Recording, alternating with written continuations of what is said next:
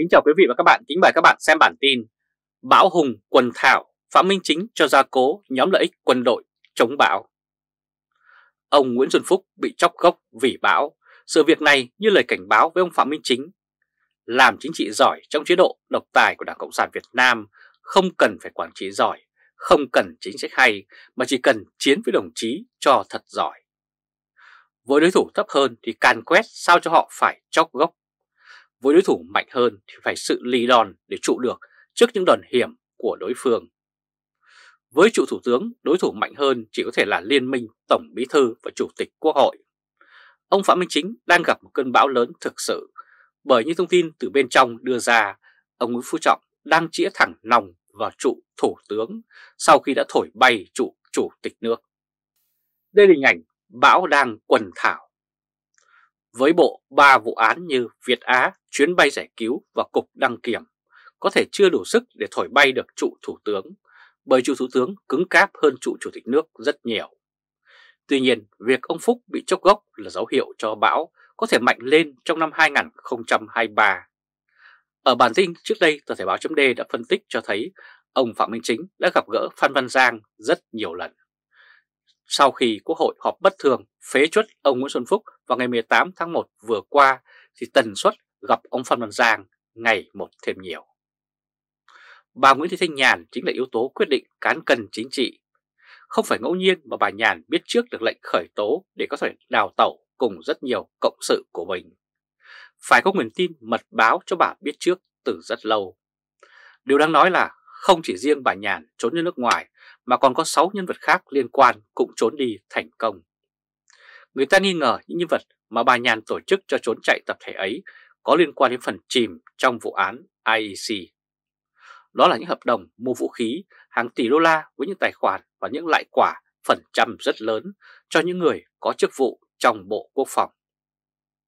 Ông Phạm Minh Chính và Nguyễn Phú Trọng đang tranh chấp ảnh hưởng tại Bộ Quốc phòng theo hai hướng khác nhau. Ông Nguyễn Phú Trọng dựa vào những hứa hẹn thăng cấp trong đảng và tư tưởng cộng sản thuần khiết. Còn ông Phạm Minh Chính thì gây ảnh hưởng tại Bộ Quốc phòng theo cách y hệt như ông Nguyễn Tấn Dũng trước đây đã từng làm. Đó là tạo điều kiện để phe cánh hưởng được những lợi ích kinh tế. Đây là hình ảnh Bộ Quốc phòng là nơi trú ngụ nhiều nhóm lợi ích lớn. Về ban phát quyền lực thì ông Phạm Minh Chính cũng có thể ban, nhưng hạn chế hơn ông Nguyễn Phú Trọng. Ông Chính chỉ có tác động đến cấp ngoài Ủy viên Trung ương Đảng, còn những vị trí như Ủy viên Trung ương Đảng thì ông Trọng có tác động lớn hơn. Một sĩ quan quân đội cho Thời báo chấm biết rằng lợi ích của Ủy viên Trung ương Đảng trong quân đội lớn hơn người ngoài của Trung ương Đảng. Người ngoài Trung ương Đảng không bao giờ có thể với tới những vị trí như Thứ trưởng hay một số vị trí quan trọng khác đầy bổng lộc và có cơ hội kiếm tiền rất lớn. Như vậy, ông Trọng thì có công cụ ban chức Ông Phạm Minh Chính thì có công cụ ban về lợi ích kinh tế. Vậy nên ảnh hưởng của cả hai người này trong quân đội là 50-50, nó khá cân bằng. Tối 29 tháng 1 tại Sài Gòn, ông Phạm Minh Chính đã dự lễ phát lệnh xuất khẩu những container đầu xuân quý mão 2023 tại cảng Cát Lái thuộc Tổng công ty Tân Cảng Sài Gòn, quân chủng Hải quân.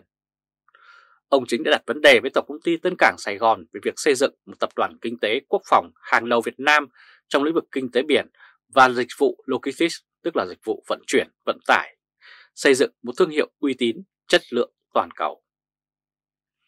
Đây là hình ảnh ông Phạm Minh Chính tại Tổng Công ty Tân Cảng Sài Gòn thuộc quân chủng Hải quân của Việt Nam. Tổng Công ty Tân Cảng Sài Gòn là một doanh nghiệp quân đội trực thuộc quân chủng Hải quân, mà quân chủng này là đơn vị từng đề xuất dự án 6 tàu ngầm kilo và dự án đã được thực hiện.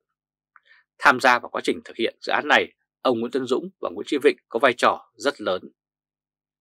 Thông tin từ bên trong cho biết binh chủng này xưa thuộc nhóm lợi ích của Nguyễn Tân Dũng và nay chuyển sang nhóm lợi ích của Phạm Minh Chính.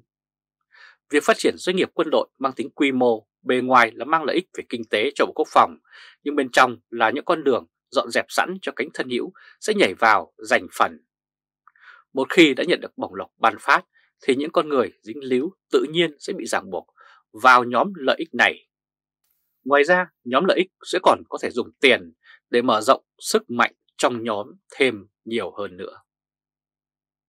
Quý vị và các bạn phải theo dõi chương trình truyền hình trực tiếp của Lê Trung Khoa, Thời báo chấm với bản tin Bão Hùng chính trường quân thảo, Thủ tướng Chính phủ cho gia cố nhóm lợi ích quân đội để chống bão.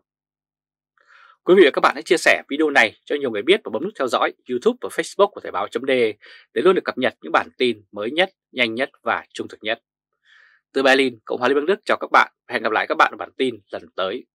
Trung Khoa Thời báo.de Kính chào quý vị và các bạn, kính mời các bạn xem bản tin Để giáo dục cắm đầu liệu Nguyễn Kim Sơn có ngóc đầu được không? Giáo dục là nền tảng phát triển bền vững cho một quốc gia. Xã hội có đạo đức hay không là phần lớn nhờ vào giáo dục. Quốc gia có người quản trị giỏi hay không cũng là nhờ vào giáo dục. Các ngành nghề có chuyên gia giỏi hay không cũng đều nhờ giáo dục cả. Tuy nhiên, sau 78 năm Đảng Cộng sản Việt Nam cầm quyền cho đến nay, ngành giáo dục cứ thế loay hoành mãi, không thoát khỏi chữ nát. Nát từ năm này đến năm khác, nát từ đời bộ trưởng này đến đời bộ trưởng khác. Đây hình ảnh ông Phùng Xuân Nhạ, người đã bị kỷ luật do yếu kém khi điều hành Bộ Giáo dục. Từ khi mới cướp được chính quyền, ông Hồ Chí Minh đã viết lá thư gửi cho học sinh cả nước.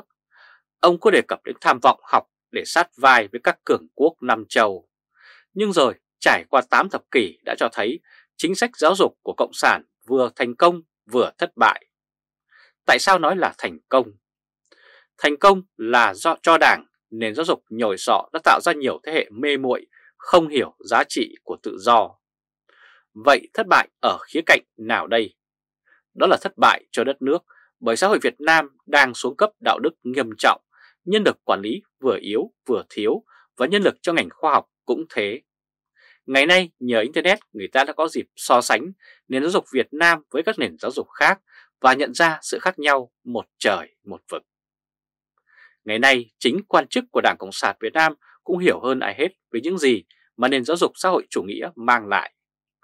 Ông Nguyễn Tân Dũng đã cho hết cả ba đứa con đi Âu Mỹ du học. Ông Nguyễn Xuân Phúc cũng giấu xã hội đưa con đi du học tại Mỹ. Ông Vương Đình Huệ cũng lén đưa con gái sang Mỹ du học. Và mới đây, cộng đồng mạng đã phát hiện ra ông Tô Lâm đưa Tô Hà Linh là con gái đi du học tại Anh Quốc từ lúc nào. Đấy là thất bại về nền giáo dục. Chưa bao giờ giáo viên bị xem thường như thời nay và cũng chưa bao giờ giáo viên mà thiếu kiến thức khai phóng như thời nay. Thời nay thầy thì ít mà thợ dạy thì nhiều. Lương giáo viên không tương xứng với công sức của họ bỏ ra làm cho giáo viên phải dùng chiêu ép học sinh học thêm rồi mua bán điểm, mua bán bằng tràn lan. Đây là hình ảnh giáo dục đã rách nay lại thêm nát. Từ giáo dục mầm non đến giáo dục đại học đều nát. Học sinh sau khi học hết bậc phổ thông ít ai chọn vào sư hạng sư phạm. Ngành trồng người chưa bao giờ có nhân lực vừa thiếu vừa yếu như bây giờ. Người giáo viên bị đưa đi tiếp những ông quan tham ăn bụng to, nhậu nhẹn, nhẹt, miệng đẩy hơi men. Nhìn giáo dục Việt Nam bát ngát như thế, không biết có phải sắp xếp loại quy củ như thế nào đây. Đời bộ trưởng nào lên rồi cũng thế, phần vì bất tài, phần vì ngành giáo dục không thể sửa. Nên đời bộ trưởng sau còn tệ hơn cả bộ trưởng trước, ngành giáo dục cứ thế cắm đầu tuột dốc. Vào ngày 28 tháng 1, tờ báo Việt Nam Net của nhà nước có đưa bằng bài viết hạ chuẩn trình độ đào tạo với giáo viên để giải bài toán thiếu nhân lực. Bài viết cho biết để giải bài toán thiếu nhân lực giáo viên, nhất là miền núi, vùng sâu, vùng xa, có ý kiến đề xuất khi tuyển dụng nên hạ tiêu chuẩn về trình độ đào tạo đối với ứng viên. Cách đây 30 năm, trong xã hội đã chuyển nhau câu châm ngôn chua chát. Chuột chạy cùng xào mới vào sư phạm. Thời đó chưa có các đại học ngoài công lập phổ biến như bây giờ, nên thi vào đại học rất khó. Nhất y, nhì dược, tạm được bách khoa, qua loa sư phạm. Thời đấy có nhiều câu truyền khẩu, nhưng câu nào liên quan đến những ngành ưu tiên, lựa chọn của học sinh đều luôn liệt vào sư phạm và loại hạng bét. Đây là hình ảnh ông Nguyễn Kim Sơn, Bộ trưởng Bộ Giáo dục của Việt Nam hiện nay. Cho đến bây giờ đã trải qua 3 thập kỷ mà chính quyền Đảng Cộng sản Việt Nam vẫn đang loay hoay không biết giải quyết bài toán giáo dục như thế nào. Thời ông Phùng Xuân Nhạ làm Bộ trưởng, ngành giáo dục rách bươm, và ông Phùng Xuân Nhạ đã bị kỷ luật vì những yếu kém của ông. Giờ đến ông Nguyễn Kim Sơn cũng như thế, ngành giáo dục vẫn đang cắm đầu đi xuống. còn 3 năm nữa thì hết nhiệm kỳ, nhưng xem ra ông Nguyễn Kim Sơn không thể làm được gì để ngành giáo dục khá hơn. Giáo dục cắm đầu thì ông Nguyễn Kim Sơn cũng khó ngóc đầu lên, cũng không khác gì ông Phùng Xuân Nhạ. Quý vị và các bạn vừa theo dõi chương trình truyền hình trực tiếp của Lê Trung Khoa, Thời báo chấm với bản tin Để giáo dục cắm đầu liệu ông Nguyễn Kim Sơn có ngóc đầu lên hay không? Quý vị và các bạn hãy chia sẻ video này cho nhiều người biết và bấm nút theo dõi YouTube Facebook của Thời báo .d để luôn được cập nhật những bản tin mới nhất, nhanh nhất và trung thực nhất. Từ Berlin, Cộng hòa Liên bang Đức chào các bạn và hẹn gặp lại các bạn ở bản tin lần tới. Trung Khoa Thời báo .d